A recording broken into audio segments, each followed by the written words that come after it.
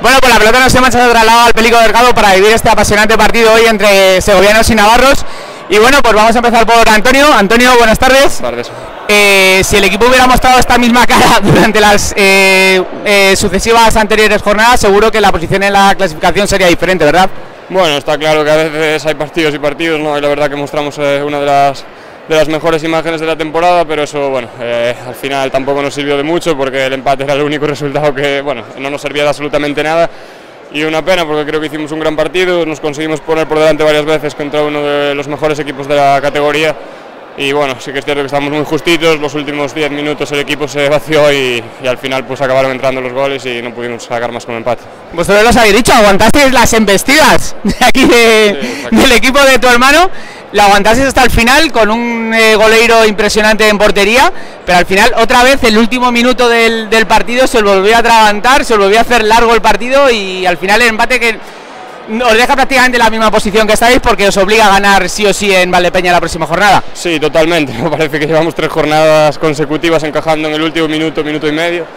Es una pena porque al final eran eh, cuatro puntos que ahora mismo estaríamos en una situación mucho más cómoda, pero la realidad es la que es, ahora ya no queda más que pensar en el partido de Valdepeñas, intentar preparar el partido dentro de nuestras posibilidades lo mejor que podemos porque la situación es difícil, estamos muy muy justitos, somos siete, ocho jugadores del primer equipo nada más y, y lo que está claro es que vamos a intentar dar la imagen que dimos hoy y por esta afición que aun perdiendo empatando al final pues nos salimos de aquí ovacionados y la verdad pues que, que vamos a intentar por ellos, por nuestras familias y, y por nosotros intentar salvar al equipo.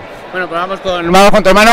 Ale, buenas tardes. Buenas tardes. Eh, muchísimas guerra han dado estos chicos aquí, parece mentira la posición que tenía en la clasificación.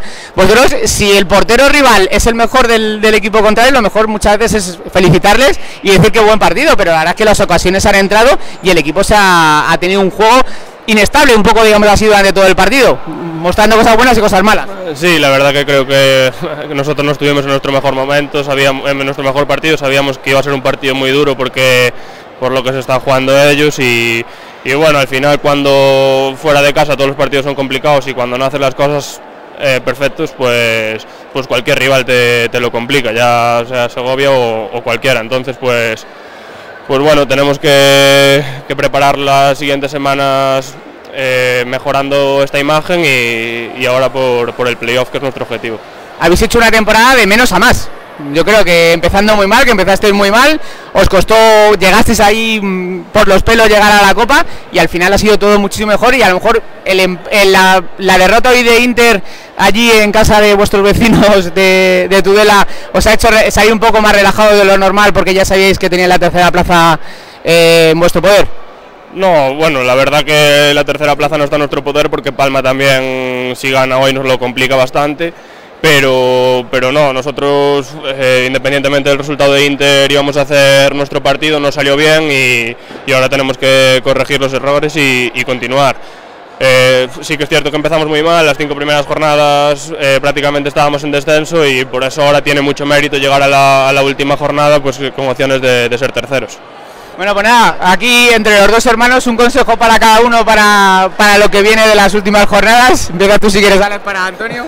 Bueno, nada, que ellos tienen que ir a Valdepeñas a, a morir y, y ojalá pueda, pueda meter un hat-trick y ganar el partido. Y tú para que a ver que si estos chicos eh, navarros, estos locos navarros, eh, pegan algún susto a alguien eh, en los playoffs. Sí, yo estoy convencido de que bueno, ya lo demostraron en la Copa que pueden competir contra cualquiera.